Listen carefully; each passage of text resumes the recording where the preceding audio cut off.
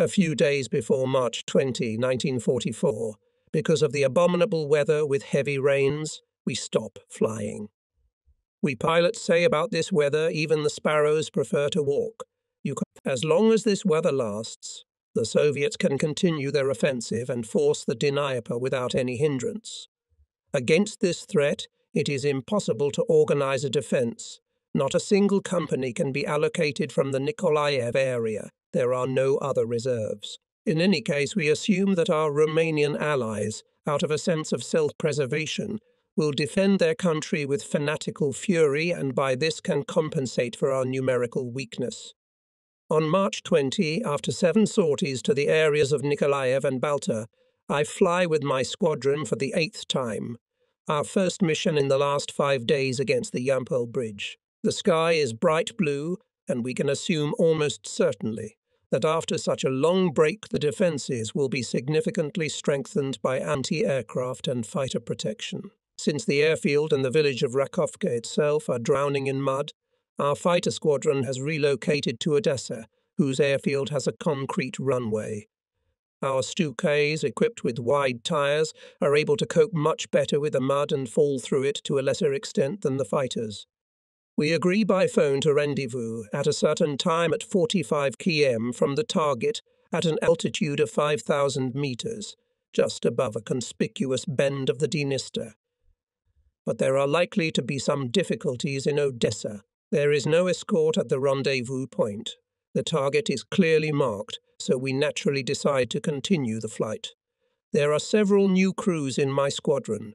The quality of their training is not as high as it used to be. Really good pilots by then have long been at the front. Fuel for training flights is strictly rationed and is a certain number of litres per person. I firmly believe that if I myself had been limited to such a small quantity, I could not have flown better than these young pilots. We are still 30 kilometres from our target when I warn enemy fighters. More than 20 Soviet La-5s are approaching us. Our load of bombs makes maneuvering difficult. I fly defensive circles so that I can tail the fighters at any moment as they intend to shoot down my trailing plane. Despite the aerial combat, I am gradually getting closer to my target. I frustrate the individual Russians who try to shoot me down by coming in from the front with my mobile tactics then at the last moment I dive through the thick of them and start climbing up. If the young crews can hold out for the rest of today, they can learn a lot. Prepare to attack. Close formation. Attack. And I dive for the bridge. As I dive, I see the flashes of the anti aircraft guns protecting the bridge. The shells screech past my plane.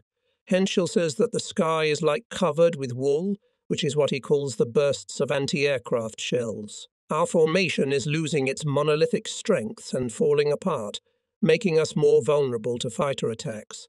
I warn those waddling behind Eind. Hurry up and catch up, we're as scared as you are. Not a single swear word rolls off my tongue. I make a turn, and from a height of 300 metres, I see my bomb explode near the bridge, so the wind is blowing. Wind left, correction left. A direct bomb hit from our third plane destroys the bridge. Circling around, I spot the anti aircraft batteries and give the order to attack them. They're going to get it today. Henschel expresses his opinion. Unfortunately, the two new crews are a little behind during the dive. The LaGGs cut them off. One of these planes is riddled with bullets and whizzes past me toward enemy territory. I try to catch up with him but I can't leave the whole squadron to fend for itself because of him. I yell at him over the radio telephone, I berate him, but nothing helps. He leaves, descending, to the Russian bank of the Dniester. Behind him stretches a narrow strip of smoke. No doubt he could have stayed in the air for a few minutes longer, like the others, and would have reached our trenches. His nerves have given out. That idiot, Fickel comments over the radio telephone. At this point, I can no longer deal with the downed plane as I must try to hold together our battered formation and maneuver westward using defensive circles. Fifteen minutes later, the Red fighters withdraw and we head towards our base in our normal formation. I order the 7th Squadron Commander to lead the formation home. Together with Lieutenant Fisher, who pilots the second staff plane, I turn around and go back at low altitude over the Dniester. The river flows here between high steep banks. Ahead, in the direction of the bridge, I see Russian fighter planes patrolling at an altitude of one to three kilometers. But here, in the river valley, it is difficult to see me, and besides, no one is expecting my return.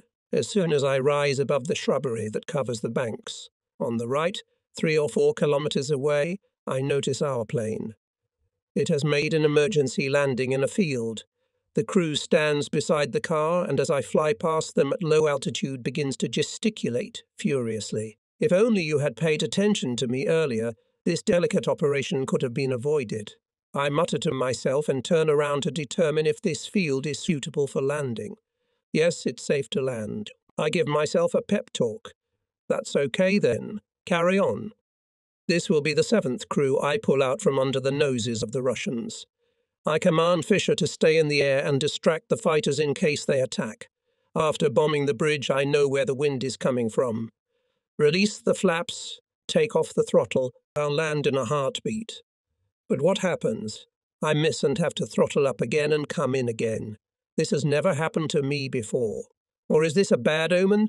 You're very close to the target you just attacked, far behind the front lines. Cowardice? One more throttle down, flaps out, I land. And immediately I notice that the ground is very soft. I don't even have to brake. My plane stops exactly in front of my two colleagues. It's a rookie crew, a sergeant and a sergeant. Henschel raises the lantern and I show them signs to get in quickly. The engine roars. They climb into the cockpit with Henschel. Red falcons are circling overhead. They haven't spotted us yet. Henschel, ready? Yeah. I let off the gas, hit the left brake, intending to taxi so that I take off in the same direction I came from. But my right tyre is stuck in the ground. The more gas I apply, the more my wheel sinks into the ground. My airplane refuses to move off, probably because there is a lot of dirt packed between the fairing and the wheel. Henschel, get out and remove the fairing. Maybe then we'll be able to take off. The mount has broken off. The fairing stays in place, but even without it, we wouldn't be able to take off. We are stuck in the mud. I pull the handle towards me, release it, and give reverse. Not the slightest hint that this will help. It might be possible to spar, but that doesn't help either. Fisher flies over and asks on the radio telephone, Should I land? After a second's thought, I tell myself that if he lands, he won't be able to take off either and reply. No, don't land. You have to fly home. I look around. There are Willers running toward us in a crowd. They're already 300 meters away. Get out of the cockpit. Follow me, I shout, and there we are, hurtling south as fast as we can. As we landed, I saw that we were about five kilometers from the Dniester. We would have to cross the river no matter what, or we would be easy prey for the Reds pursuing us. Running is not so easy. I'm wearing high fur ounce and a fur lined jacket. It's best to ignore the sweat. No one needs to be pushed. We are not going to end up in a Soviet prisoner of war camp. For dive bomber pilots, it is tantamount to certain death. We've been running like this for half an hour. Who should have seen it from the outside? The Ivans are a good kilometre behind us. Suddenly we find ourselves on the edge of an almost sheer cliff, which is washed by the waters of the river. We run here and there, looking for a path to get down. But it's impossible. The Ivans are already on our heels. Then suddenly a childhood memory comes to my mind. When I was a boy, we used to climb down from the top of a tree, sliding down the branches and reaching the ground in one piece. Large thorny bushes grow in abundance on the rocky slope. One by one, we slide down and land at the water's edge. Our hands and feet are scratched, and our clothes have turned to rags. Henschel is terrified. He shouts, Let's dive. Better to drown than be captured by the Russians.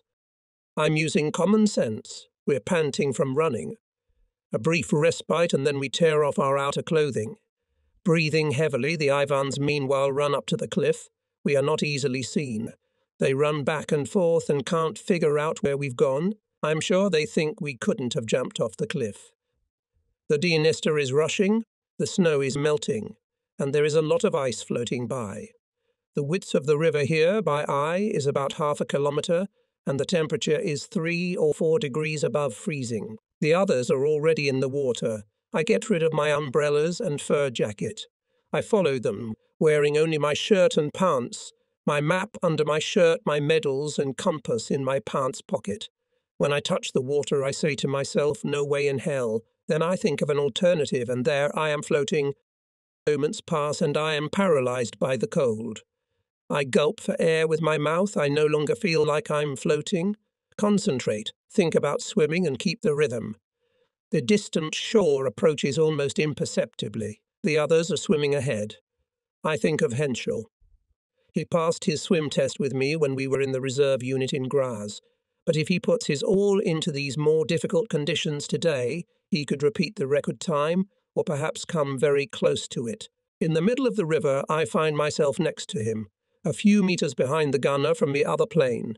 The sergeant is swimming far ahead. He seems to be an excellent swimmer. Gradually, we become immune to sensation. We are saved by the instinct of self preservation bend or break. I am surprised at the endurance of the others, since as a former athlete I am used to overexertion, my mind dives into memories. When I did the decathlon, I always ended up running a kilometre and a half, after I strived to show everything I was capable of in the other nine exercises. This time the hard workouts repay me a hundred. The sergeant climbs out of the water and falls ashore. A little later, the corporal and I reach the shore. Henschel has another 150 metres to swim. The other two lie motionless, frozen to the bone, the gunner mumbling something as if in a delirium. Poor fellow! I sit on the shore and see Henschel trying to reach the shore. Another 80 metres. Suddenly he throws his hands up and shouts, I can't, I can't go on, and plunges into the water. He immediately resurfaces, but then sinks again and doesn't show his face again. I jump into the water again, using up the last 10% of energy I hoped I had managed to conserve. I reach the spot where Henschel dived into the water. I can't dive because I have to take a deep breath to do so, but I can't get enough air because of the cold.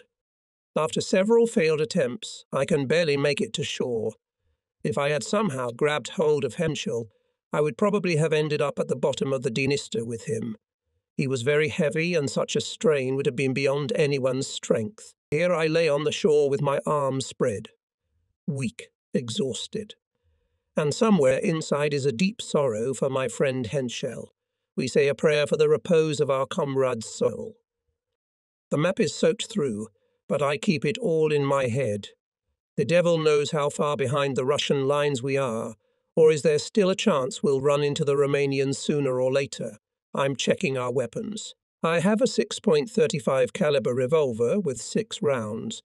The sergeant has a 7.65 with a full magazine, the sergeant lost his revolver in the water and only has a broken Henschel knife. We march south, clutching our weapons in our hands. The faintly hilly terrain is familiar from flying. There are several villages in the vicinity, and a railroad runs 35 km south from west to east. I know only two stations on it, the Balta and Floresty. Even if the Russians have penetrated this far, we can count on the fact that this railroad line is still free of the enemy. The time is about three o'clock in the afternoon. The sun stands high. The first thing we do is enter a small valley surrounded by hills. We are stiff with cold, the corporal is still delirious. I resort to prudence. We must try to avoid any populated areas. Each of us gets a certain sector to watch. I'm starving. It suddenly dawns on me that I haven't eaten anything all day. We were making our eighth sortie, and there was no time to eat between missions. After returning from each mission, a report must be written and sent to the team, and instructions for the next operation are already coming over the phone. Meanwhile, our planes are refueled. The gunners load ammunition, hang bombs, and we take off again. The crews may get some rest and even ingest something, but I don't have to count on it. I guess we've been going for over an hour now. The sun is starting to set and our clothes are starting to gradually freeze. There's something up ahead, or am I wrong? No, there really is something up ahead. There are three figures moving in our direction against the background of sunshine, which makes it hard to see details. They're already 300 meters away from us. These people, of course, have already spotted us. They may have taken up a position at the top of one of the hills. Tall guys, Romanians no doubt. I can get a better look at them now. Those on the right and left carry rifles over their shoulders. The one in the middle is armed with a rifle with a round disc. It's a young guy, the other two are in their forties, must be reservists. They are dressed in brown and green uniforms. Without making any hostile gestures, they come closer to us. I suddenly realize that we are now not wearing any uniforms, and therefore they cannot make out who we are. I hastily advise the corporal to put his revolver away and hide mine myself, just in case the Romanians get nervous and start shooting. The trio stops a meter in front of us and looks at us curiously. I begin to explain to our allies that we are Germans, made a forced landing, and ask them to help us with clothes and food, adding that we would like to return to our unit as soon as possible. I repeat, we are German pilots, made a forced landing, but their faces turn grim, and at the same moment I see three muzzles pointed at my chest. The young fellow instantly grasps my holster and pulls a revolver from there. They were standing with their backs to the sun. Now I could get a better look at them. The hammer and sickle means Russian. I'm not going to surrender for a second. I'm thinking only of escape. I have one chance in a hundred. There must be a good bounty on my head in Russia, and if I am captured alive, the reward must be even greater. Blowing my brains out wouldn't be practical for them. I'm disarmed. I slowly turn my head to see which way the shore is. Stop. I turn around, duck low, and run headlong, darting from side to side. Three shots ring out, followed by a long burst from a machine gun, a searing pain in my shoulder. The young guy hit my shoulder with the machine gun. The other two missed. I run like a hare, zigzagging up the hill, bullets whistling around me. The Ivans run after me, stop, Fire, fire, run, fire, fire, fire, run. Only a moment ago I thought I could only drag my feet, so stiff they stiffened from the cold. But now I'm running like I've never run in my life. Blood trickles down my shoulder, and I make an effort to dispel the darkness in front of my eyes. I've already gained fifty meters on my pursuers, bullets whistling incessantly. My only thought is, only he who resigns himself to defeat perishes. The hill seems endless. I run toward the sun to make it harder for the Ivans to aim. My figure almost dissolves in the sunshine, and it's harder for them to hit me. I've just learned that lesson myself. Here I reach the ridge, but my strength is running out, and hoping to stretch it some more, I decide to stick to the top of the ridge. I won't be able to endure another descent and ascent, so I run sideways along the ridge. From the neighbouring hill there are about twenty more Ivans running towards me. Most likely they have seen everything and are about to round up their exhausted and wounded prey. My faith in God is shaken. Why did he initially allow me to believe in the possible success of my escape? I have just escaped from a completely hopeless situation, and would he hand me over to my enemies unarmed, stripped of my last weapon, my physical strength, my determination to flee suddenly receives a new impetus. I run swiftly down the hill. Behind me, 200 or 300 meters away, are my original pursuers, a new group coming up from the side. Only two are left of the first trio. For a moment they cannot see me because I am on the far side of the hill. One of them stays behind to bring my two companions, who had stayed put at the moment of my escape. The hounds on my left keep a parallel course. They want to cut me off, here begins a ploughed field. I stumble back and glance for a moment at the Ivans. I'm deadly tired. I stumble over a clod of earth and lie where I fell. The end is not long in coming. I mutter another curse. I have no revolver, and so I don't even have the opportunity to deprive the Ivans of their triumph to take me prisoner. My eyes turn toward the Reds. They are already running across the same ploughed field and must watch their feet carefully.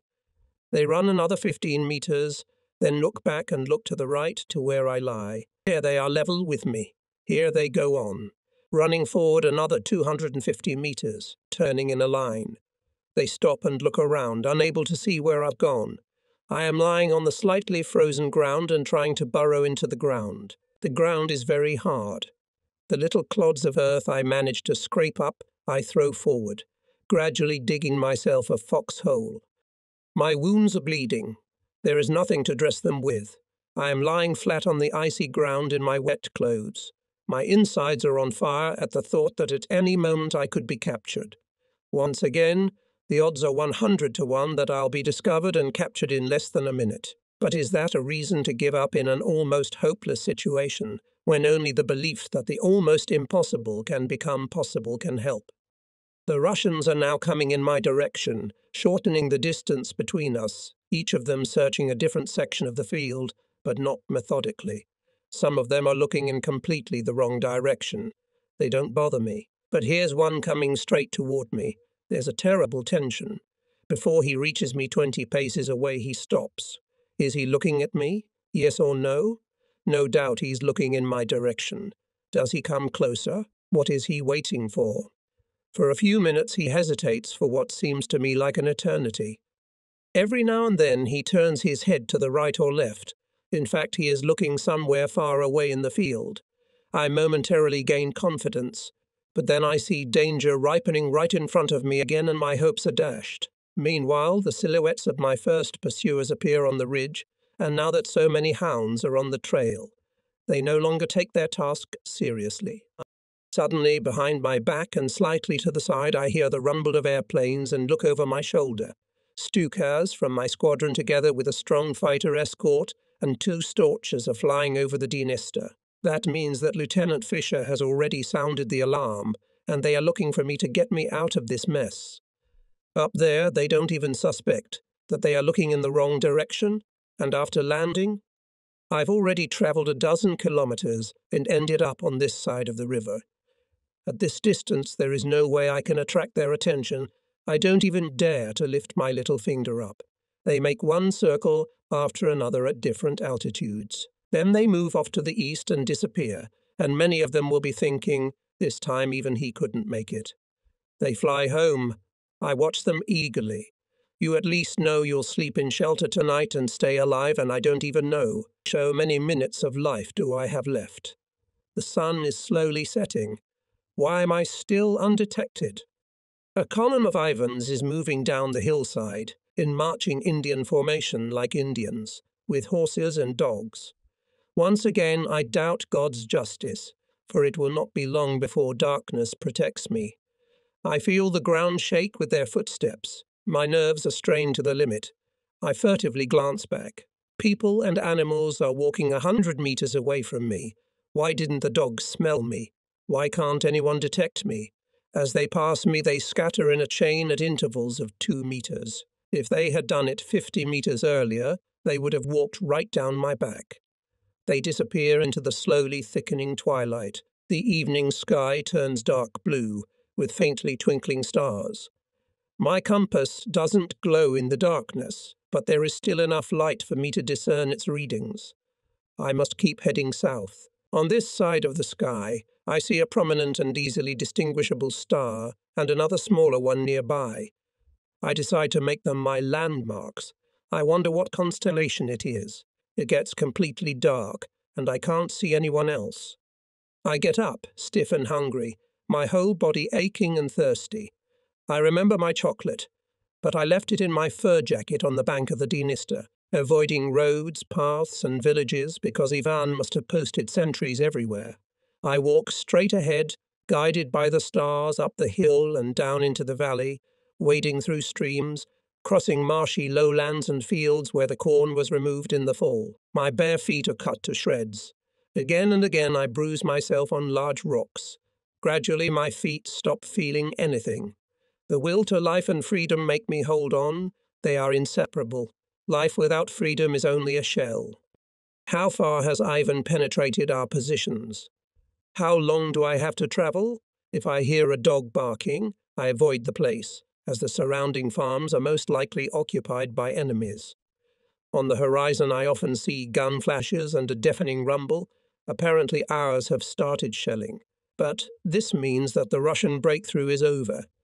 At the bottom of the ravines that here and there cut through the hills, I often stumble in the dark and fall into the ditches where there is knee deep, sticky mud. It sucks me in, and I no longer have the strength to free myself.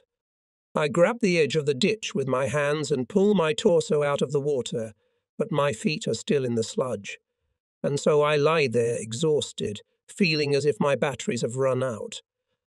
After lying like this for five minutes, I gradually recharge and accumulate enough strength to climb up the steep walls of the ditch. But this unpleasantness is repeated without any pity again and again, at least where the ground is uneven, and so it goes on until 9 p.m. Well, that's it, I've had enough. Even after a long rest, I can't regain my strength. Without water, food, and sleep, I can't continue. I decide to look for some detached house. I hear a dog barking in the distance and walk towards the sound. I am probably quite close to the village. A little while later, I come across a lonely farmhouse and struggle to quiet the barking dog. I don't like this barking at all. I'm afraid it will attract the attention of some picket in the neighbouring village. I knock on the door, but no one opens, probably no one is there. The same thing happens again at the second farm. I go to the third. When no one answers this time either, I lose patience and open the window to climb inside. At that moment, a door is opened by a fearful man with a smoking oil lamp. I'm already halfway through the window, but now I climb out again and put my foot in the door. The old woman tries to shove me away. I walk past her resolutely. Turning in a circle, I point in the direction of the village and ask, Bolshevisti? She nods affirmatively. From this, I deduce that Ivan has occupied the village. The dim light of a lamp faintly illuminates the room, a table, a bench, an ancient sideboard. In the corner, a grey bearded old man snores on a rather crooked bed. He must be in his seventies. In silence, I cross the room and lie down next to him on the wooden couch. What can I say? I don't know Russian. The woman will realize now that I'm not going to do them any harm. I'm barefoot, the rags of my shirt sticky with clotted blood. I look more like stalked game than a nocturnal burglar. I lie down. A lamp flickers dimly above our heads. It doesn't occur to me to ask them to bandage my shoulder or my cut legs. I only want to rest. I am hungry and thirsty again. I sit on the bed and fold my palms in a pleading gesture, at the same time gesturing that I am thirsty and hungry. After hesitating for a moment, she brings me a pitcher of water and a piece of mouldy cornbread. Never in my life have I eaten anything tastier. With each sip and piece of bread, I feel a rush of strength, as if the will to live and act has returned to me. At first, I eat greedily, but after eating a little, I begin to reflect on my situation and develop a plan of action for the next few hours. I drink and eat. I rest until one o'clock in the morning. It is now half past ten in the evening. Need to get some rest. So I lie down again on the wooden planks with the old men half asleep, half awake. I wake up every 15 minutes like clockwork and check the time. Whatever happens, I can't waste the saving darkness on sleep. I have to make my way as far south as possible. Nech more 5, 10 o'clock. Tin and so on. 12d5, no, time to pack. I sneak outside. The old woman closes the door behind me. I stumble and fall down the steps. Is it my sleep, or is it the dark night's fault? Or maybe the steps are slippery. It's raining. I can't see anything at arm's length. The stars are gone. Which way do I go? Then I remember that when I walked the night before, the wind was blowing at my back. If I want to make my way south, I need to move with the wind. Or has it changed? I am still among the buildings on the farm. Here I am protected from the wind. The wind blows one way and then the other. I'm afraid I'll be moving in circles. Inky darkness, obstacles, I bump into something and bruise my shin. The dogs bark with glee. The houses are still around somewhere. It's the countryside. I can only pray that the next minute I don't run into a Russian sentry. Finally, I find myself in the open and put my back to the wind with confidence. I am also rid of the mongrels. I ramble as before, up the hill, down the slope, up, down cornfields, rocks, overgrowths, in which it is most difficult to keep my direction for among the trees the wind is almost subsiding. On the horizon I see the incessant flashes of the guns and hear their measured booms. They help me to keep my course. Shortly after 3 a.m., I see a vague glimmer of light on my left. Dawn is near. A good check. Now I am sure that the wind has not changed direction, and I am heading in the right direction. I've already covered 10 kilometers. I think I covered 15, 18 kilometers yesterday, so now I am 25 kilometers from the Dniester. The hill about 200 meters high rises in front of me. I climb it. Perhaps from the top I will see something and be able to identify some landmarks. It's already light, but I can't spot any special places. To my left and right, a few kilometers away, I see three tiny villages. But I discover that my hill is actually the start of a ridge that runs north south so I was able to maintain my direction of travel.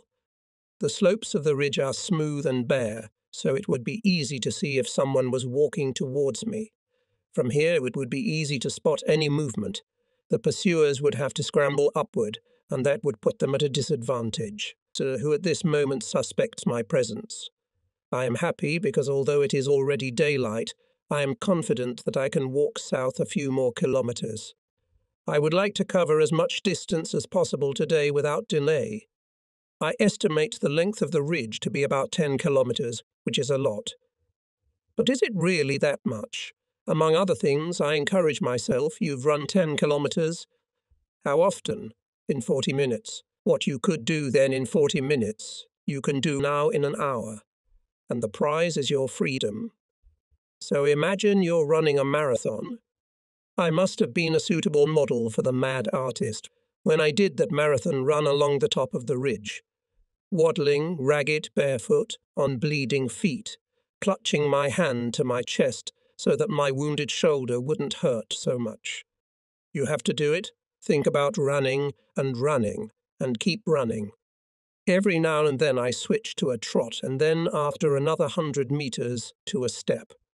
Then I start running again, I could make it in an hour, but now, unfortunately, I must descend from the heights that protected me. The road leads me down. In front of me stretches a wide plain. A small gully goes in the same direction as the ridge. This is dangerous because here I am more easily caught off guard. Besides, the time is already approaching seven o'clock in the morning, and unpleasant encounters are more likely. Once again, my batteries are depleted. I must drink, eat, Rest. I still haven't seen a single person. Should I take precautions? But what can I do? I am unarmed, I am hungry and thirsty. Prudence is certainly a virtue, but thirst and hunger, a strong need makes me careless. To the left ahead, two farms are visible on the horizon out of the morning haze. I must sneak inside. For a moment I stop at the barn door and peek around the corner. Inside is empty, there is nothing. No harness, no farm implements, no living thing, but no. A rat runs from one corner to the other. There is a large pile of corn rotting in the current. I search it greedily. If only I could find a cob or two, or even a few kernels. But I find nothing. I search again and again. Suddenly I hear something crunching behind me. Several figures quietly creep past the entrance to another shack. Who are they, Russians or refugees, hungry like me and hoping to reach their own? Or are they robbers on the prowl for prey? I search the other farm. I scrutinize all the piles, nothing. Frustrated, I decide that if there is no food, I can at least use these piles to rest. I make myself a shelter in a pile of corn leaves, and am just getting ready to lay down when I hear a new noise. A cart rumbling down the road, a man in a high fur hat sitting on it, a girl behind him. If there is a girl, then there is no danger, so I approach them. Judging by the black fur hat, this is a Romanian peasant. I ask the girl, Do you have any food? If you eat this. She pulls a few stale flatbreads out of the sack. The peasant stops the horse. Only then does it realize that I asked a question in German and received an answer also in German. How do you know German? The girl tells me that she made her way with the German soldiers from Dnipropetrovsk and learned the language. Now she wants to stay with the Romanian peasant sitting next to her. They are fleeing from the Russians. But you're going straight in their direction. I can see in their faces that they don't believe me. Are the Russians already in that town? No, it's Floresti. This unexpected answer is reassuring. The town must be on the Balta Floresti Railroad, which I know. Could you tell me if there are any German soldiers nearby? No, the Germans are gone, but there may be Romanian soldiers here. Thank you and Godspeed. I wave my hand as the wagon moves off. I'll probably be asked later why I didn't requisition the wagon. The idea never occurred to me. Aren't these two just as much refugees as I am?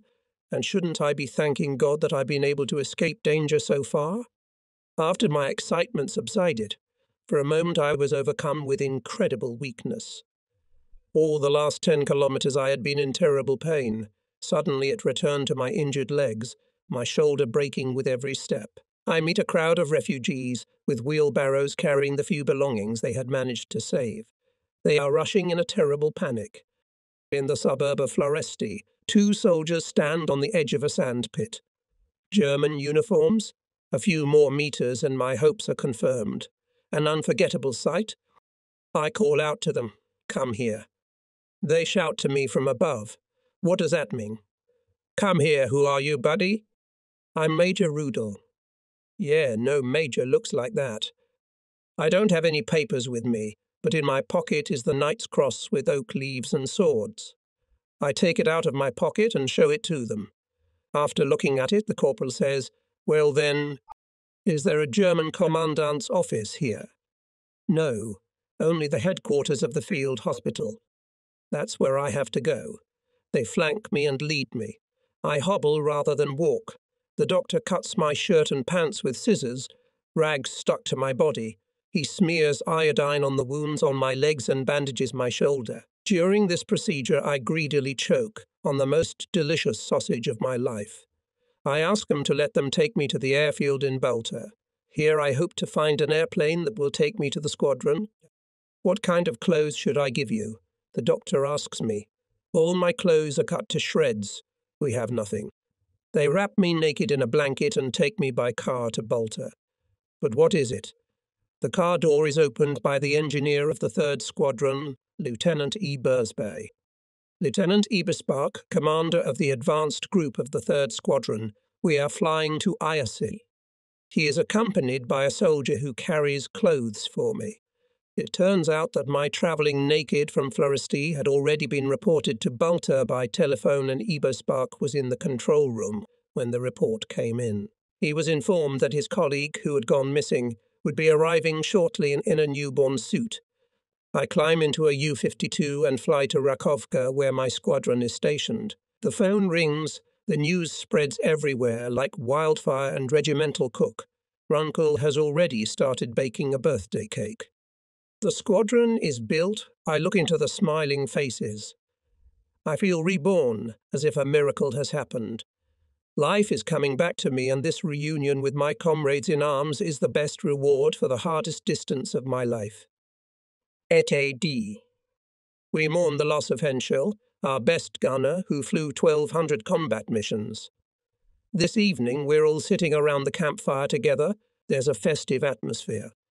The group has sent delegates, among them a doctor who is supposed to sit at the headboard of my bed. He sends me the General's congratulations together with orders that I am not to fly and will be immediately sent on leave as soon as I am sufficiently recovered. Again, I have to disappoint our poor general, for I am more concerned with the question whether we can now hold the Soviets who, having forced the Dniester, are tearing southward in large forces. I cannot spend a single day in bed. Next morning we have to move to Iasi. It's bad weather, we can't fly. If there are no flights, I can obey the doctor's orders and rest. The next day, I fly with my squadron to Iasi, from where it is closer to make combat sorties across the Dniester. My shoulder is bandaged and I can't move my arm, but it doesn't interfere too much with flying. Worse, my legs are shredded to the bone and I can't walk. Any pressure on the pedals causes unbearable pain. I am carried to the airplane in my arms. Iasi is a pretty Romanian town, so far completely intact. It's a great view for us, it reminds us of home. We gawk in the store windows and rejoice like children. The next morning, our reconnaissance detects strong enemy armoured and motorised forces north of Balta. They are probably already entering the city. At first, the weather is bad, the terrain is mountainous, and the highest peaks are shrouded in fog. There are no more troops to hold the front. The enemy's motorized infantry could be here in a few hours. Who will stop them? We're alone. Reconnaissance reports heavy fire from anti aircraft guns, which the advancing Reds have brought with them. Soviet La 5s and Airacobras are constantly circling over these armoured wedges. Our entire southern front in Russia and the crucial oil fields in Romania have been jeopardized. I am deaf and blind to all advice based on my physical condition. The Soviets must be stopped and their tanks. The striking force of the army must be destroyed. It will be weeks before our counterparts on the ground can establish a line of defense. My gunner, non commissioned officer Rothman, carries me in his arms to the plain. Six sorties to exhaustion in the morning, then three in the afternoon. The weather is terrible. Heavy anti aircraft fire. After almost every sortie, I have to change my airplane because of the damage done by anti aircraft guns. I feel very ill. Only the determination to stop the Soviets wherever I would meet them keeps me strong. Besides, it was these soldiers who tried to take me prisoner, and on the day I escaped, the Moscow radio had already reported that they had captured Major Rudel himself. Most likely they did not believe that I was able to reach my colleagues. Did my colleagues who couldn't escape with me give up my name? Using bombs and cannons, we attacked tanks, columns of trucks with gasoline and food, infantry and cavalry. We strike from an altitude of 10 to 200 meters because the weather is nasty together with other planes equipped with 37 guns. I go on a tank hunt at extremely low altitude. Soon the other crews are left on the ground, because when my plane is damaged, I have to use another one, and so on until there are no serviceable anti tank vehicles left at all. If it takes too long to refuel an entire squadron, I order fuel to be quickly poured into my plane, and together with another pilot, we make extra flights between general sorties. Usually, our fighters are not in the air. The Russians are using all their numerical advantage against us alone. During these air battles, I find it difficult to maneuver because I can't push the pedals. I only use one control stick. But so far, I have only taken damage from anti aircraft fire, albeit during every sortie, which is quite often. During the last combat sortie that day, I fly an ordinary Stuka with bombs and two guns of 2 inch caliber. With these weapons, it is impossible to penetrate even medium thick tank armor. Presumably, the Reds do not expect us to show up so late. Our only purpose is to establish their places of concentration and to get a general idea of the situation, which is essential for tomorrow. We fly along the two roads that run north toward Balta. The sun is already setting, Huge clouds of smoke are rising over the village of Falesti on the left ahead. Perhaps there are still Romanian troops there. I fall behind the squadron and fly over the village. I am met by heavy anti aircraft fire. I see a mass of tanks, followed by a large column of trucks and motorized infantry. Curiously, the tanks have two or three spare fuel tanks. It's as if a flash illuminates my they are no longer expecting our appearance and want to break through tonight into the heart of Romania, in the oil fields, and thus cut off our entire southern front. They take advantage of dusk and darkness, because during the day they can't move when my Stukas are circling over their heads. That's why the tanks are equipped with extra tanks. It means they can break through even without their trucks. This is a major operation, and they've already started it. I can see it quite clearly now, we're the only ones who know what's going on, so the responsibility is ours. I'm giving the order on the radio to. This attack is of the utmost importance. Bombs to be dropped one at a time. Attack at low altitude until ammunition runs out. The gunners will also fire on the vehicles. I drop the bombs and start hunting the tanks with my 20 min guns. At other times, it would be a pure waste of effort to fire on tanks with weapons of this caliber but today the Ivans are carrying tanks of fuel, and that's where they miscalculated. After the first bombs, the Russian column stops, and then, under cover of ferocious anti aircraft fire, tries to move on, maintaining formation. But we don't let ourselves be intimidated. Only now they realize that we are serious. They panic and scatter away from the road, turn into the fields and circle incessantly, performing every defensive maneuver they know. Every time I fire, I hit the tank with a burst or incendiary shell. Apparently, the fuel leaks through the gaps. Some of the tanks that stand in the shadow of the hill explode with blinding flashes. If their ammunition explodes, the sky is redrawn with a veritable fireworks display. And if the tank is carrying a certain number of flares, they shower everything around them with an unimaginable array of colours. Every time I go into attack, I am conscious of the responsibility that lies upon us and hope that we will succeed. It's lucky we spotted this column today. I am running out of ammunition. I've already destroyed five tanks, but there are still several monsters in the field, some of them still moving. I still have to pay them back somehow. Hanolo 7 is the call sign of the commander of the 7th Unit. Come home after you've used up all your ammunition. I'm flying at top speed to the airfield with my wingman. We are not waiting for refueling, we have enough fuel for a new flight. We only need ammunition. Twilight is fast approaching. Everything is going too slowly, although our gunners are working hard. I have already explained to them what is at stake, and now they are doing their best not to let down their comrades in the air. Ten minutes later, I take off again. On the way, we meet the returning squadron. It is already approaching the airfield with the landing lights on. An eternity seems to pass before I find myself over the target. Even from afar, I can see burning tanks and trucks. The explosions illuminate the battlefield with an ominous light. Visibility is very poor.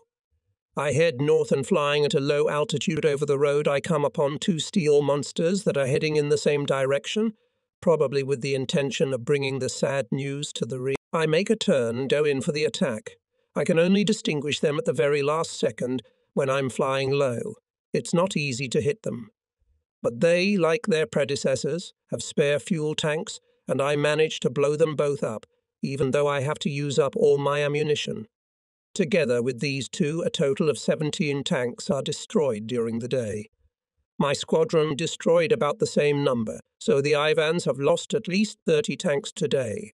This is a black day for them. Today, after all the events, nothing will disturb our sleep in Iasi. Of that we can be sure. We will find out tomorrow how far the offensive has advanced. We sit down in complete darkness.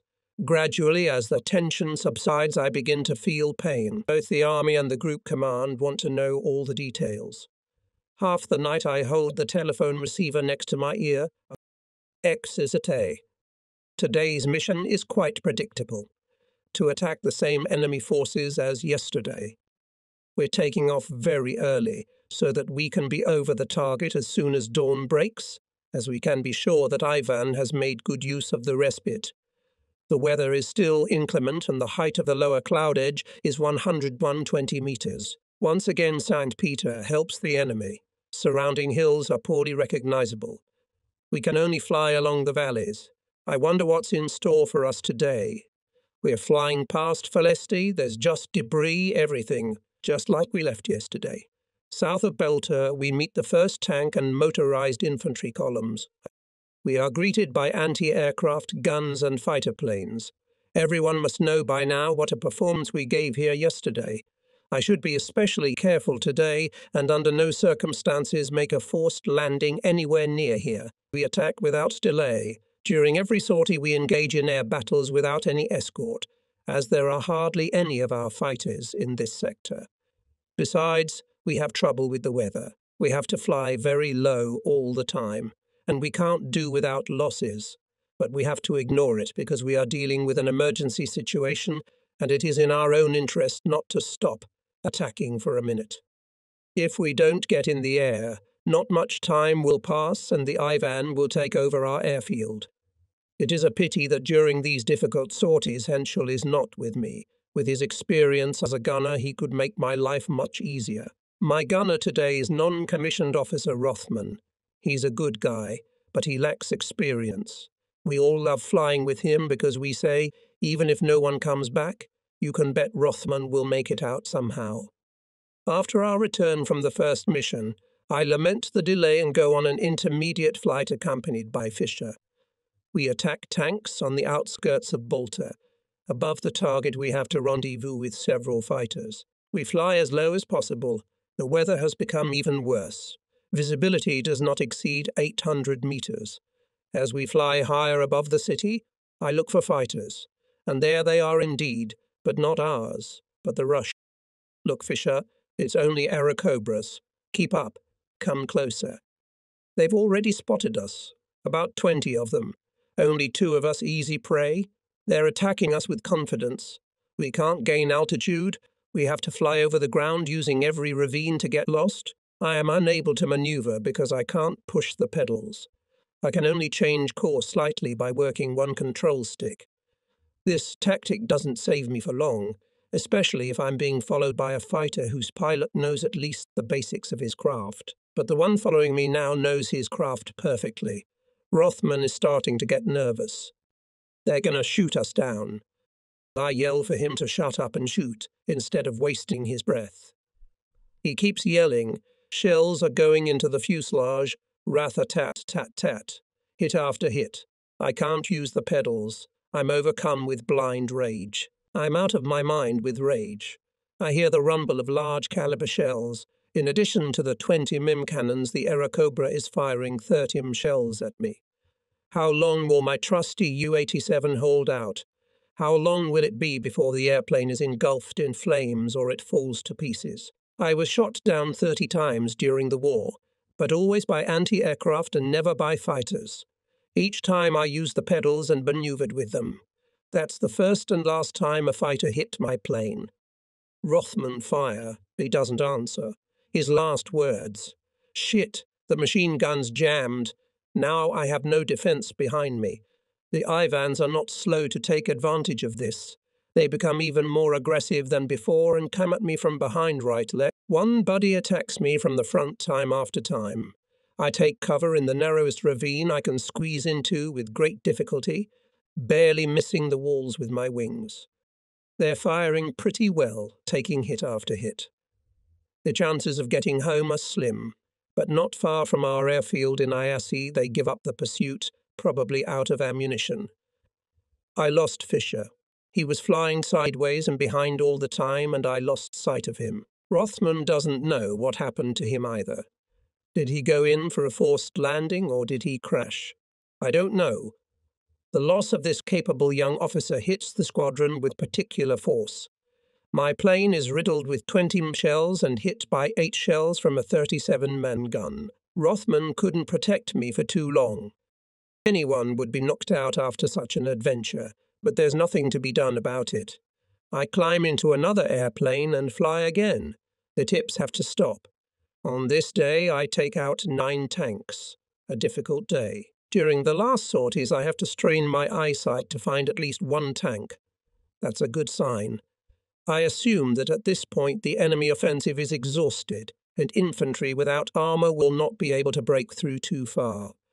The next morning, reconnaissance confirms my assumptions. Everything is quiet, almost extinct. After I land after the first sortie of the day, a young mechanic jumps on the wing of my plane, gesticulating fervently, and congratulates me on my award of diamonds to the Knight's Cross. A phone call has just been received from the Fuhrer's headquarters, but the message also contains a ban on flying. The guy's individual words are drowned in the hum of the engines running, but I understand the meaning of what he's telling me. In order not to see the text of the message, I do not go to the control room, but stay by my airplane until preparations for the next flight are completed. At noon, the general calls me to Odessa by telephone. Meanwhile, congratulatory telegrams are coming in from everywhere, even from members of the government. There is an uphill struggle ahead to get permission to fly. The thought of my comrades preparing for a new flight and me having to follow to Odessa upsets me. I feel like some kind of leaper. This addition to the award makes me despondent and nullifies all the pleasure of knowing that my achievements have been so highly recognized. In Odessa, I learn nothing new, only what I already know and what I would like to hear about. I absent mindedly listen to the congratulations, my thoughts with my combat comrades who can care about nothing and keep flying. I envy them.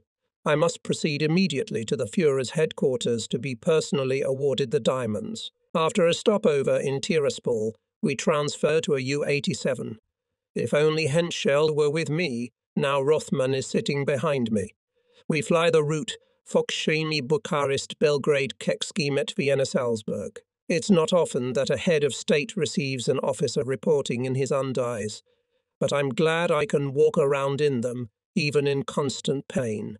Oberst von Below comes to Salzburg to accompany me, while Rothman goes to his home by train. We agree that I will pick him up in Silesia on the way back. For two days I sunbathe on the terrace of the hotel in Berchtesgaden, breathing in the delightful mountain air. Gradually I relax. Two days later I find myself in the company of the Fuhrer in the magnificent Berghof. He knows my whole story down to the smallest detail and expresses his joy that fate has been so favourable to me, and we have been able to achieve so much. I am impressed by his warmth and caring heart. He says that I have done enough, so he orders me to stay on the ground. He explains that there is no need for all the great soldiers to give their lives. Their example and their experience should be preserved for new generations. I reply by refusing to accept the award. If, having received it, I will no longer be able to lead my squadron into battle. He frowns, a brief pause follows, then a smile appears on his face. Very well, in that case you can fly. I am happy at last and anticipate seeing the look of pleasure on the faces of my comrades when they hear I have returned. We drink tea together and talk for an hour or two. We discuss new weapons, the strategic situation, history. He explains to me specifically that there have been recent tests of the Feiyu weapons. At present, he says, it would be a mistake to overestimate its effectiveness, because the accuracy of the new weapon is still very low. But, he adds, this is not so important because there is hope of producing missiles that will be absolutely reliable. Later, we will be able to rely not on ordinary explosives, but on something else so powerful that when we use it, the war will end immediately. He tells me that his development is already very far advanced and completion can be expected very soon. This is a completely new twist for me, and I can't imagine it. Later, I learned that the explosive effect of these new missiles will be based on atomic energy. After every visit to the Fuhrer, I get a lasting impression. From Salzburg, I fly to Gorlitz, my hometown. The reception given in my honour tires me more than some combat sorties. When I finally get to my bed at seven o'clock in the morning, a chorus of girls singing serenes to me, my wife has to convince me for a long time to come out and wish them good morning. It is very difficult to explain to people that despite being awarded diamonds, I would not like to participate in celebrations and receptions. I only want to rest. I spend a few days with my parents in a close family circle. I listen to the news from the east on the radio and think about the soldiers fighting there. Finally, nothing holds me any more, and I can go back. I call Rothman in Zittau, and our Ju 87 carries us south again, through Vienna and Bucharest to the Eastern Front. A few hours later, I land at Focșani in northern Romania. My squadron is now stationed at Husi, a little farther north. The front is holding much more firmly than it did two weeks ago. It runs from the Prut to the Dniester along the edge of the plateau north of Iasi. The small town of Husi nestles between the hills. Some of them have extensive vineyards. Will we be able to wait for the wine? The airfield is on the northern edge of the town, and since our houses are on the opposite side, we have to walk through its streets every morning. The population watches our actions with interest. When you talk to them, they always show their friendliness. The representatives of the church are in particularly close contact with us. They are led by a bishop whom I often visit. He never ceases to explain to me that the clergy see in our victory the only chance to preserve religious freedom and independence. There are many merchants in the city, there are a huge number of small shops. It is all very different from the Soviet Russia we left so recently. Its middle class has disappeared, swallowed up by the proletarian Moloch. As I walk through the city, I am particularly struck by the sheer number of dogs. By all accounts, they are homeless. They wander everywhere. You meet them on every corner and in every square. I am temporarily housed in a small villa with a vineyard, with a small stream running along the side where you can swim. At night, whole processions of dogs pass through this vineyard. They move in Indian formation in packs of 20 or 30. One morning I am still lying in bed when a huge mongrel dog peeps in at my window and puts its front paws on the sill. Behind her, fifteen of her co-workers stand in the same pose. The rear ones put their feet on the backs of the ones in front and all stare into my room. When I chase them away, they sneak away sadly and without barking to continue their incessant trotting. Food is plentiful. We live well, for we receive our pay in Lehigh, and though there is nothing much to buy with it, at least we can always buy eggs. Gradually, almost all of our salary begins to be spent on buying eggs. Among the officers, Lieutenant Starler holds the first place in the consumption of eggs. He eats an enormous quantity of them. One day, when fuel shortages prevent us from flying, the test of this new source of energy begins immediately. The entire squadron, down to the last man, engages in physical exercise, usually cross country running, gymnastics, and, of course, soccer. I am still unable to participate in these exercises, as the soles of my feet are not quite through yet, and my shoulder hurts if I move my arm recklessly. But for the squadron as a whole, these athletic activities are a splendid recreation, some, myself included, take the opportunity to walk in the mountain forests or practice other sports. We usually drive to the airfield between 4 and 5 am. At the far edge of town, we always come across a huge herd of sheep with a donkey walking ahead of them. His eyes are completely covered by a long, tangled man, and we wonder how he can see us at all. Because of that Monet, we nicknamed him Eclipse. One morning as we whiz by, we tug on the tip of his tail. First, he kicks up his hooves like a kicking horse.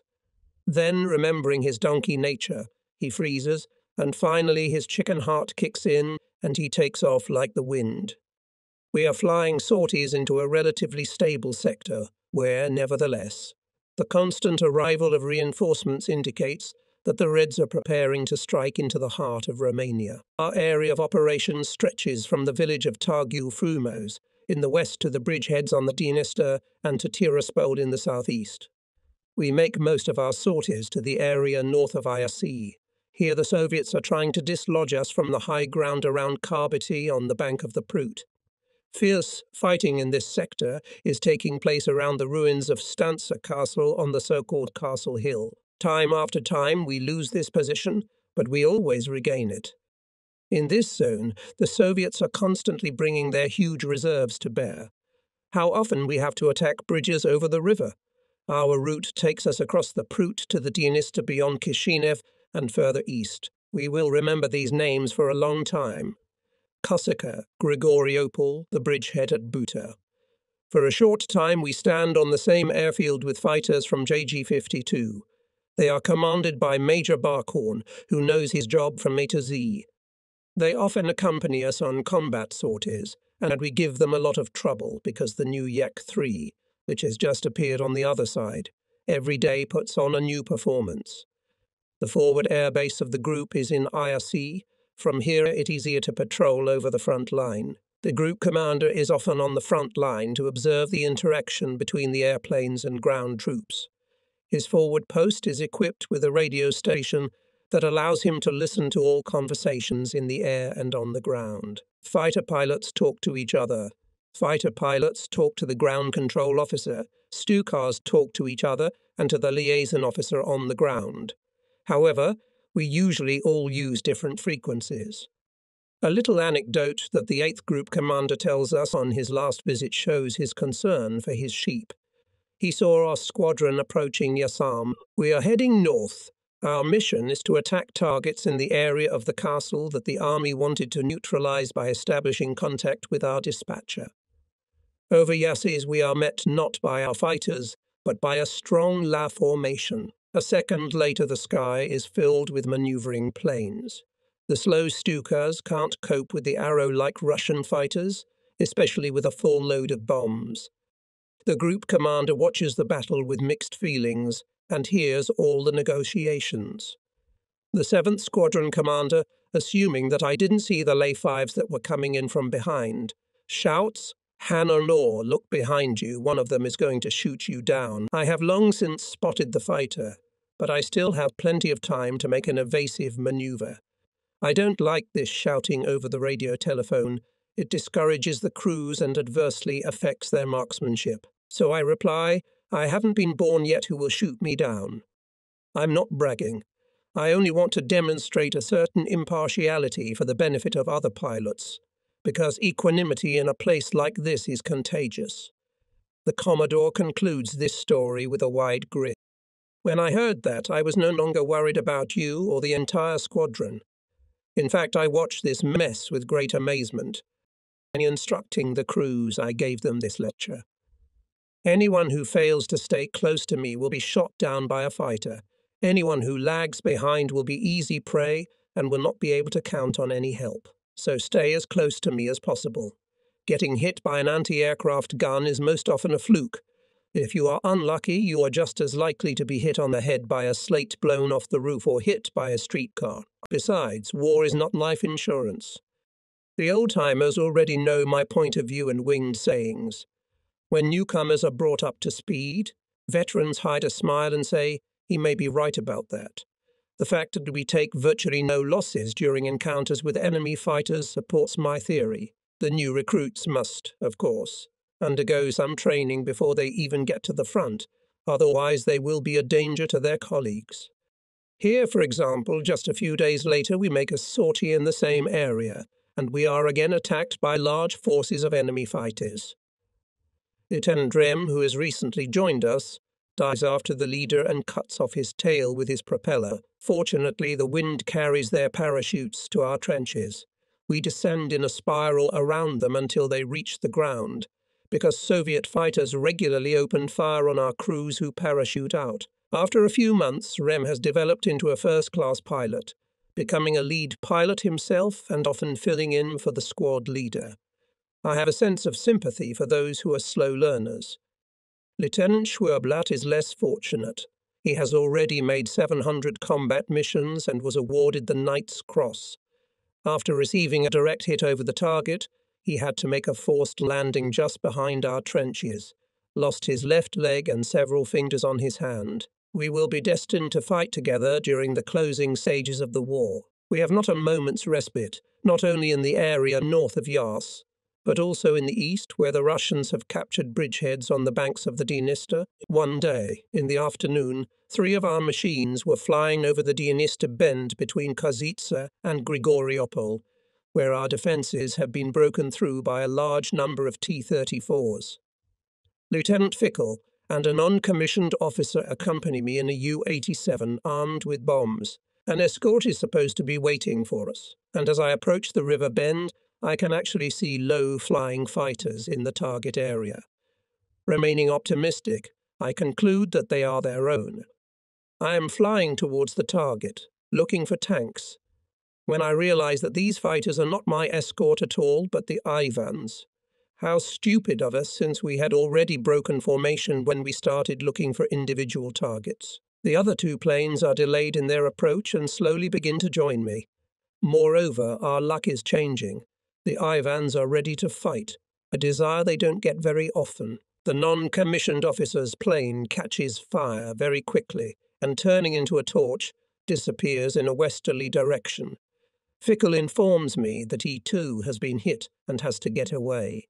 The pilot of the La 5, who in all probability knows his business, gets on my tail. The others keep a short distance behind him. No matter what I do, I don't manage to shake this lay off. He has partially released the flaps to reduce his speed. I fly into deep ravines to keep him low and make the danger of colliding with the ground confuse his aim. But he keeps behind me and his tracers pass quite close to my cockpit. My gunner Gadermann shouts excitedly that the fighter is sure to shoot us down. The gully widens to the southeast of the river bend, and suddenly I'm making a turn with La clawing at my tail. Gadermann's machine gun jams. Tracers pass under the left wing. Gadermann yells. I reply, I can't, I've already got the handle in my stomach. The wonder begins to slowly build in me as to how this guy coming from behind can follow my turns in a fighter jet. Sweat is running down my forehead. I keep pulling on the control stick. The tracers continue to whiz by under my wing. Painting around, I can look directly into Ivan's tense, focused face. The other lays have stopped their pursuit, apparently expecting that their colleague is about to shoot us down. Flying in this style is beyond them.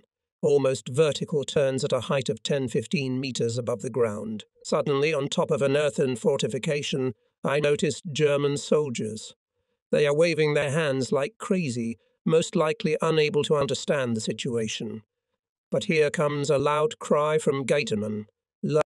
Did Gadermann shoot down the enemy plane with his machine gun? Or did the fighter spars fail to withstand the tremendous strain of those full speed turns? In my headphones, I can hear the loud shouts of the Russians. They saw what happened, and it's out of the blue. I've lost Fickel, and I'm flying home. Below me in the field lies a burning Ju 87. The non commissioned officer and his flight gunner are standing next to it in full health, with German soldiers rushing to them. So tomorrow they will be able to fly again. Shortly after landing, I meet with Fickel. There will be ample reason to celebrate our new birthday. Fickel and Gadermann also insist on celebrating.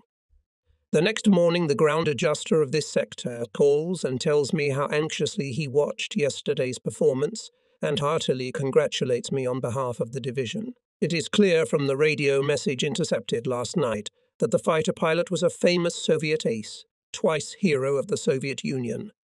I must admit that he was a good pilot, which is no small thing. Shortly after this episode, I have to report to the Reichsmarschall on two different occasions. The first time I land at Nuremberg and go to the castle of his ancestors. When I enter the courtyard, I am surprised to see Goering dressed up in medieval Germanic hunting costume, and in the company of the attending physician, shooting a bow at a brightly coloured target. He pays no attention to me until he has used up his entire supply of arrows. I'm surprised to see that he hasn't missed a single shot. I only hope he is not seized with a desire to show off his skill by making me compete with him, in which case he must realize that because of the wound in my shoulder, I cannot hold a bow, much less shoot. The fact that I report to him on my arrival in my undies in any case indicates my physical weakness. He tells me that he often exercises while on vacation, a way of keeping fit, and his doctor, willy nilly, must join him in this enjoyable pastime after a modest dinner with the family, at which only General Loerzer is present among the other guests. I learn the reason for my summons. He awards me the pilot's gold medal with diamonds and asks me to form a squadron armed with the new Messerschmitts. 410 with 50 ME guns and take command of it. He hopes that with this type of aircraft we will be able to match the four engine aircraft used by the enemy. I conclude that since I have just been awarded diamonds, he wants to turn me into a fighter pilot. I'm sure he's thinking in terms of the categories of World War Y, during which pilots awarded pour le mérite were usually fighter pilots like himself. He is predisposed to this branch of the Luftwaffe and those who belong to it, and would like to include me in that category. I tell him that I really wanted to become a fighter pilot earlier and what prevented it. But since those days, I have gained valuable experience as a fighter pilot, and I would not want to change anything. I therefore ask him to drop the idea. He then tells me that he has the Fuhrer's consent to this appointment, although he admits that he did not really like the idea of removing me from flying dive bombers. Nevertheless, the Fuhrer agreed with him that I should in no case land behind Russian lines to rescue other crews any more. That's an order. If crews are to be rescued, others must do so in the future. Such a requirement bothers me. Part of our code is the rule, although shot down will be rescued, I believe I should be in charge of rescuing them myself, because I, by virtue of my extensive experience, can do it more easily than anyone else. If it is to be done at all, then I am the person who should accomplish it. But to object now would be a waste of energy. At the critical moment, one must act as necessity dictates. Two days later, I return to Husi and take part in the combat operations. Taking advantage of a pause of a few days, I decide to make a short trip to Berlin for a conference that kept getting postponed. On my return, I land at Gorlitz, visit home, and fly east to Vöslau, near Vienna. Early in the morning, when I wake up at my friend's house, I learn that people from the Reichsmarschall's headquarters have been trying to find me all night. Having contacted him, I receive orders to proceed immediately to Berchtesgaden.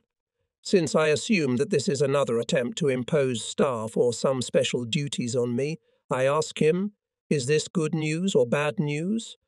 He knows me well and says, Of course it's good.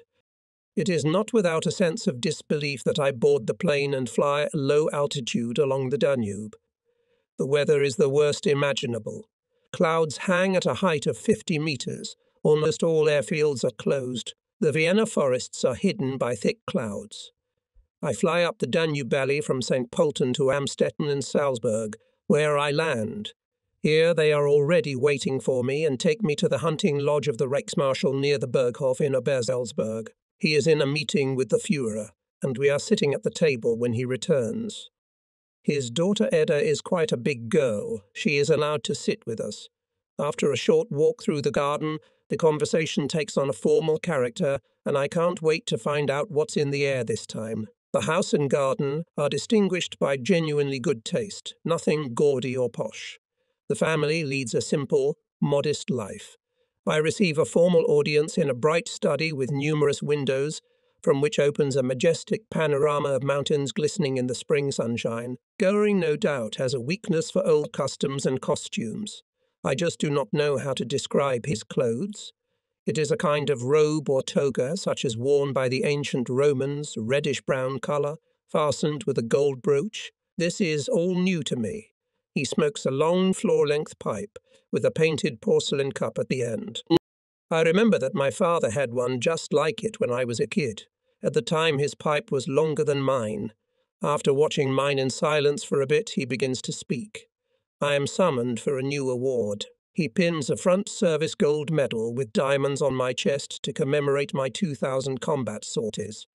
It's a brand new medal that no one has ever been awarded before because I alone have made that many sorties. It's made of solid gold, and in the centre is a platinum wreath with crossed swords, underneath which is the number 2000 set with tiny diamonds.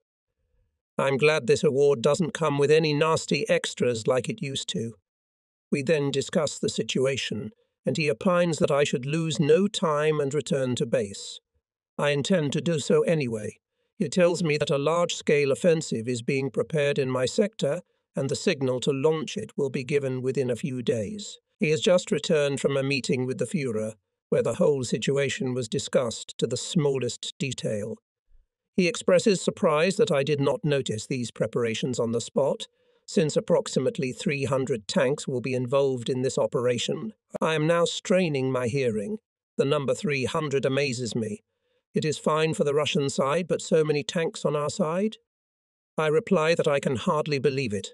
I ask him if he could name these divisions and the number of tanks they have at their disposal, because I am perfectly well informed about most of the divisions in my sector and how many serviceable tanks there are in each of them. On the eve of my departure from the front, I had a conversation with General Unrein, commander of the 14th Armoured Division. It was two weeks ago, and he complained to me bitterly that he had only one tank left for the whole division, and even this vehicle could not be considered combat ready, because he had ordered it to be equipped for ground control of air flights.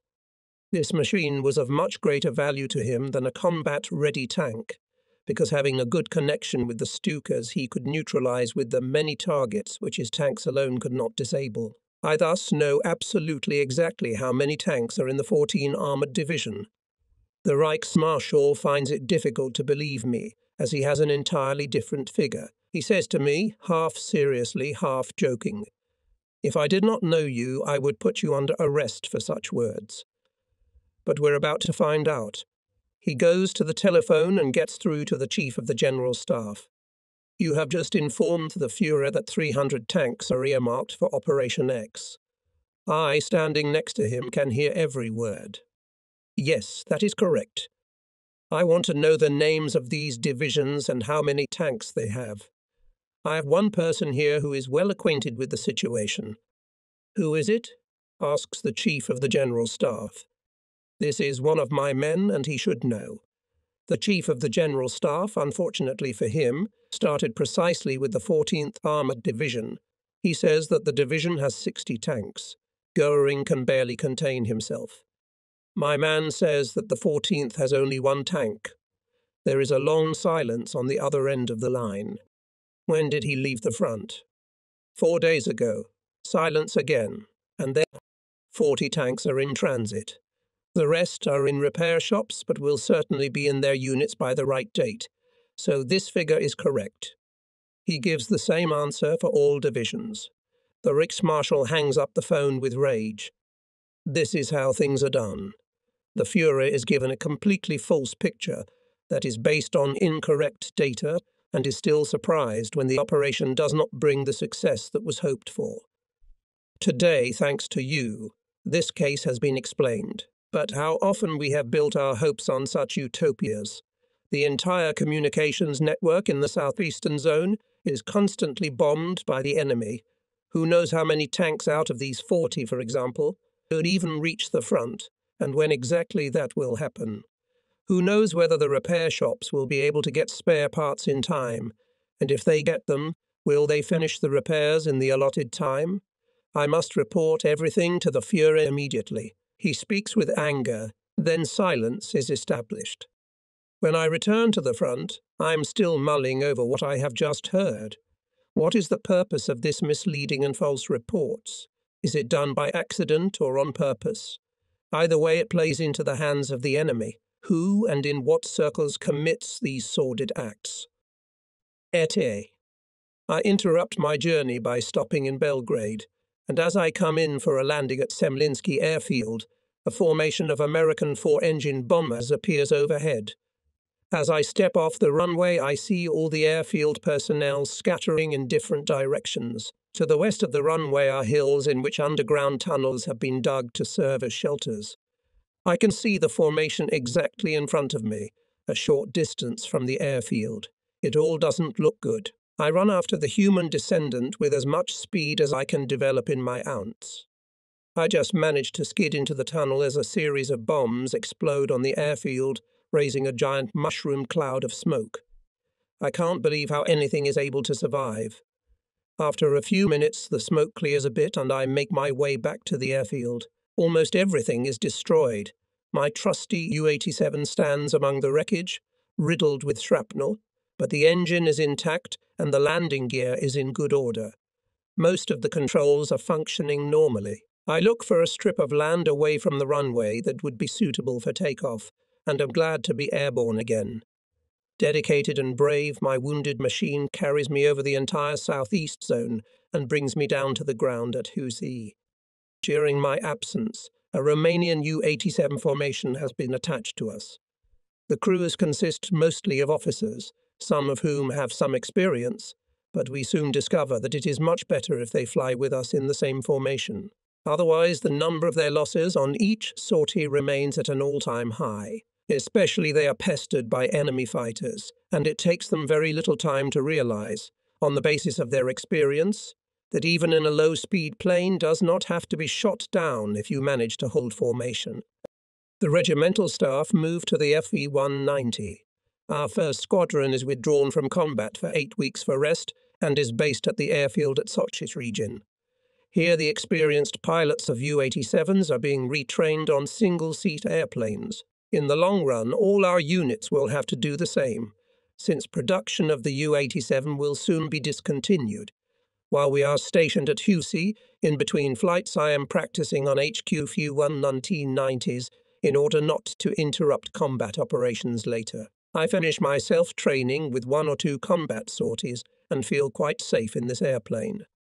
It is July, and our sorties are becoming more frequent as the planned offensive north of Iasi has begun.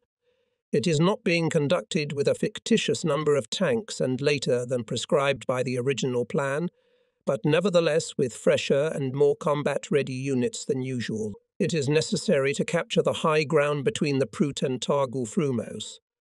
It is easier to hold, and the capture of this section would deprive the enemy of a convenient springboard for attack. The whole front line in this sector is in motion, and we succeed in pushing the Soviets back a considerable distance. Resisting stubbornly, they manage to hold several key points. They are lucky because the local attacks with which we had hoped to wipe out these pockets of resistance never materialized.